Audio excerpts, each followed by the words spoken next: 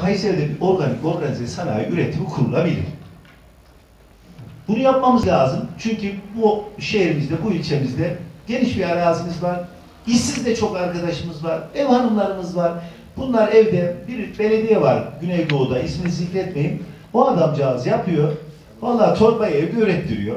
Laboratuvarını koymuş. Bahçede organik üretim yapıyor. Türkiye'nin de birçok yerinde satış mağazası kurmuş, satıyor. Vallahi bravo dedirtiyor. Bunu biz yapalım diye 2018'de söylemiştik. Adını da biz koymuştuk. Organik organize sanayi diye. Sayın Başkanım doğru bir konudayız. Hakikaten doğru bir konudayız. Bunun yapılması lazım. Ben dedim, siz dediniz hiç önemli değil. Mesele ben biraz arkadaşlarımla yad etmek istedim. Her şeyi üzerime almak istemiyorum ama doğru bir proje.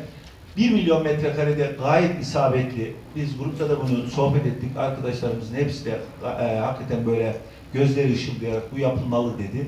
Bunun tutacağını da örneği şu domates fidesi. Türkiye'ye biz örnek bir üretim yapabiliriz. Şehrimizin işsizine iş sağlayabiliriz. Hakikaten Türkiye'de de Koca Sinan'ın ismini duyurabiliriz. Biz bu konuda zannediyorum arkadaşlarımız zaten olumsuz bir ifade kullanmadılar.